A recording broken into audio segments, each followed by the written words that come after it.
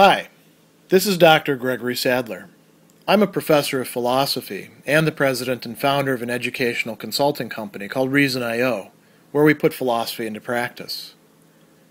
I've studied and taught philosophy for over 20 years, and I find that many people run into difficulties reading classic philosophical texts. Sometimes it's the way things are said or how the text is structured. But the concepts themselves are not always that complicated, and that's where I come in.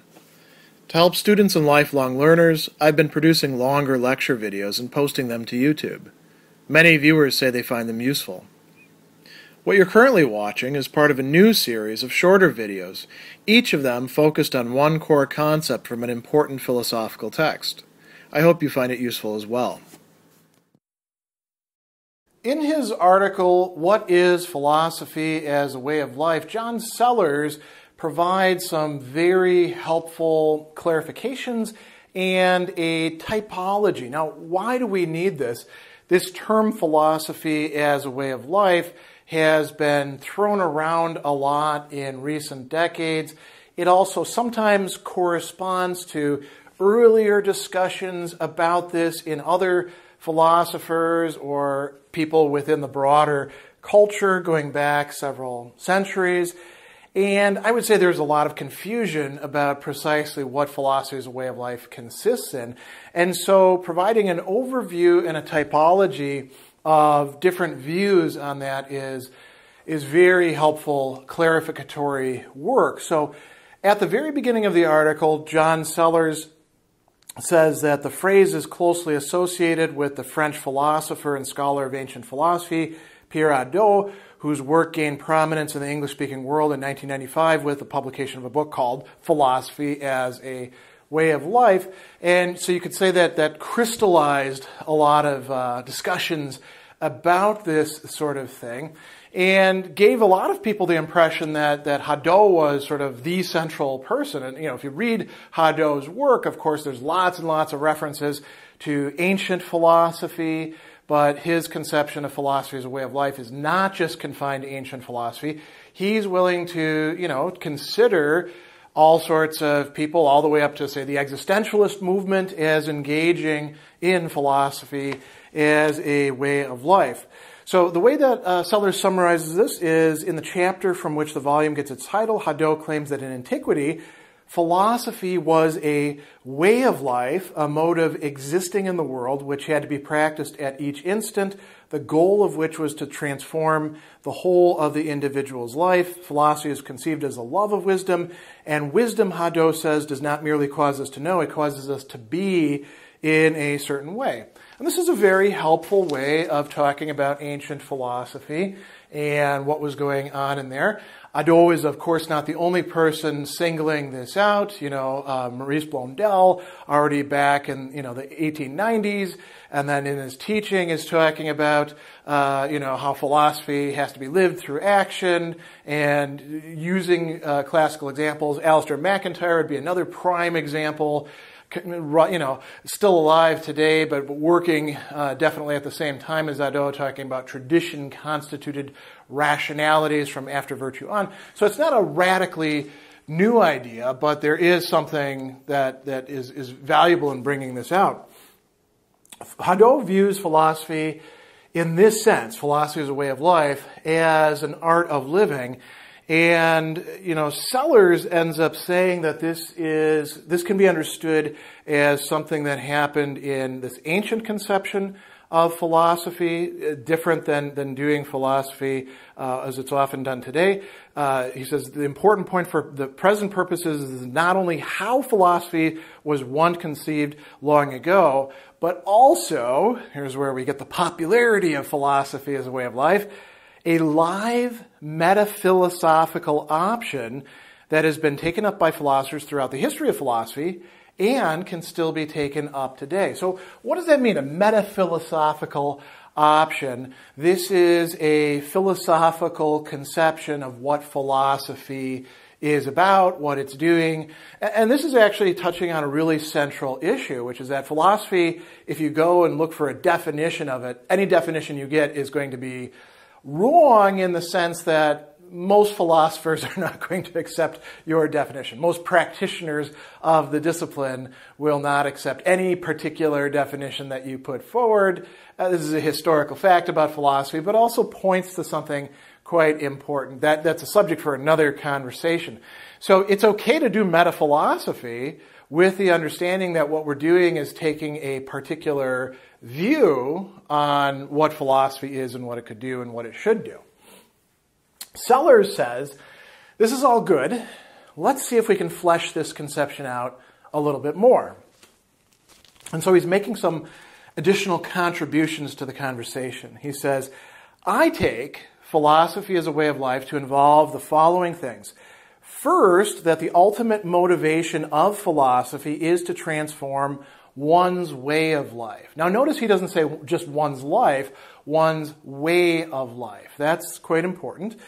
Second, that there should be some connection and consistency between somebody's stated philosophical ideas and their behavior. They, as we say, don't just talk the talk, they walk the walk. So if you're going to do philosophy as a way of life, it doesn't mean that there has to be a perfect coincidence between these, but there'd better be some effort to make, make sure that there's some consistency going between what it is that you're endorsing and what it is that you're actually doing. I think that's, that's, that cannot be reinforced enough. And then the third thing, he says, actions are ultimately more philosophically significant than words to the point that it's possible to determine someone's set of philosophical beliefs by examining their biography and behavior. Very interesting point there, isn't that? That means that the way in which a person lives and what we know about them is, you know, not just uh, sort of extra stuff, but it's directly important for assessing whether they believe certain things. So these are some really great ways of, as he says, fleshing the conception out. Throughout the rest of the paper, he is examining uh, and working out a number of different viewpoints that he summarizes close to the end. And he tells us, here we go, that there are, uh, in light of what we've discussed so far, we might point to three distinct views about philosophy as a way of life. And these represent, you could say, polar positions that some people within the, if there is a movement of philosophy as a way of life, some people emphasize more than others. I think he's completely right to single these out as distinct views. So the first one, philosophy as a way of life is a distinct tradition in Western philosophy, different in form and motivation from both analytic and continental philosophy, dominant in antiquity and present ever since, albeit marginalized in recent times. So this goes to the part of the, the paper where he's talking about, well, is it a third way to analytic and continental philosophy, which are, at least in the Anglo-American sphere, and arguably in European philosophy, pretty much the dominant uh, paradigms for how philosophy ought to be done. We often talk of the analytic continental divide, right? As if that's, that's a, a real thing. And it is sociologically real in certain, uh, certain degrees. There's a lot more that can be said about that, but we're going to skip over that. So, is it a distinct tradition? We might actually think of it as a distinct set of interlocking traditions that are often in communication with themselves. I'll mention again Alasdair MacIntyre, who has done so much for arguing the need to have a, a new Aristotelian uh, sort of tradition that, that is you know rooted in a community and practices and all that. And then Anthony Long's wonderful article where he says, you know, MacIntyre, you're perfectly right about the Aristotelians, but you're wrong in pushing the Stoics to the side because the Stoics are doing the same sort of thing. They're sort of like a parallel tradition, and we know there's a lot of confluence between them in ancient times as well. Um, so, you know, it is definitely a, a different way, a different approach to what's typically understood as analytic and continental philosophy. I think John Sellars is right in saying, well, I don't want to call it entirely a third way. There's, there's some problematic aspects of that. There's all sorts of third ways. We could say, well, what about classical American philosophy? What about, you know, uh, comparative philosophy? What about all, we can go on and on and on. Obviously, the analytics and continentals, though they'd like to say that they're the only games in town, they're not. And so I think Sellars is right that philosophy as a way of life cuts across the divide. As a matter of fact, I would go so far as to say that you can find some analytic philosophers in the history of analytic philosophy who are clearly engaged in philosophy as a way of life. John Wisdom is a prime example, although John Wisdom is, of course, reading Sartre and engaging not just with, with you know, Wittgenstein, but also with psychoanalysis and, and things like that. So, you know, I, I, would say he's, he's right in saying we don't have a, a, monolithic block of analytic philosophy and then continental philosophy and then some third way between the two. Distinct view number two uh, philosophy as a way of life is a humanist approach contrasted, to be contrasted with a scientific approach, and as such, perhaps sharing more in common with the work of some continental philosophers than it does with most analytic philosophy.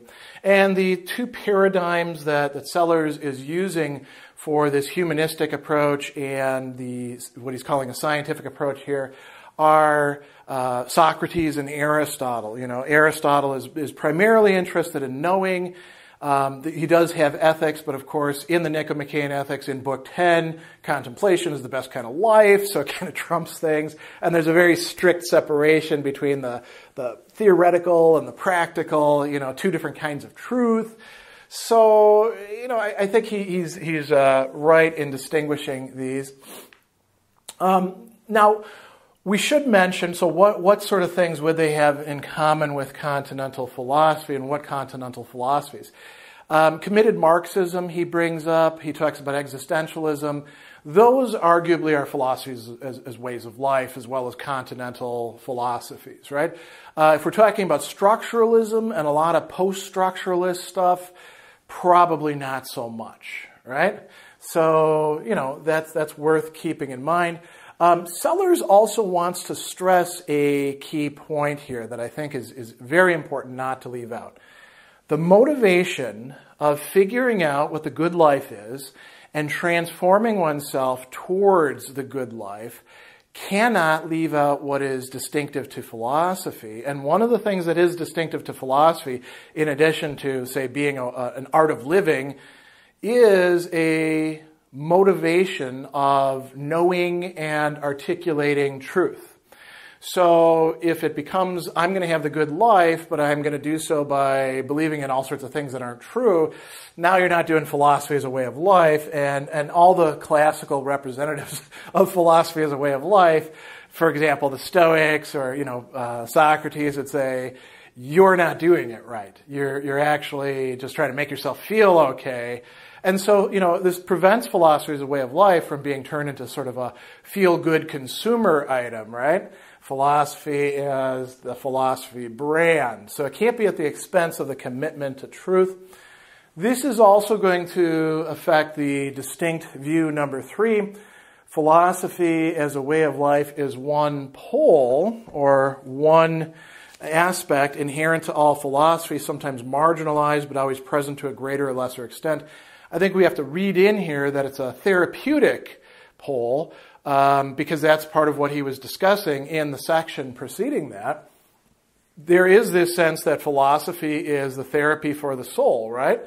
And that has been a motivation in philosophy for a, you know, from the, the very inception and going on uh, down to the present. Oftentimes it is marginalized people are like, oh, you know, philosophy is not about feelings at all. No, actually, a lot of philosophy is about feelings, you know, including, including Aristotle, who thought that feelings and emotions were quite important. Uh, that's why Heidegger, you know, in uh, Being and Time tells us that uh, in Rhetoric Book Two, Aristotle carried out one of the first hermeneutics of the of the emotions, right, and thought that that was relevant. It's a bit of a side note there. Sellars again reinforces the very important point that we don't want to lose the motivation of truth and turn everything just into feel good or feel better therapy. We, you know, we have to confront reality, and the promise of philosophy as a way of life is that actually by confronting reality and working through the difficult things, we might actually wind up in a better state than if we just, you know, engaged in soporifics and self-helpy, you know, self-affirmation or whatever, whatever it's going to be, little band-aid patches on things. Real therapy, like Epictetus says, you know, entering into the philosophy, uh, whatever it is, teaching hall is like going to see the doctor. And remember, back then there was no anesthetics, you know, and going to see a doctor was something a lot of people tried to avoid just as much as in the, the present. It's going to be painful, but it's ultimately going to be, be better for you as somebody who's got some skill and knowledge helps you uh, work things out instead of for your body, for, for your soul, or for your mind or personality. So, you know, each of these distinct views represents something about the discourse of philosophy as a way of life. Um, in really good literature on philosophy as a way of life, all of these tend to be playing some role, but I think that Sellars is right to disentangle these from each other so we can assess the ideas involved in this very interesting and ongoing movement.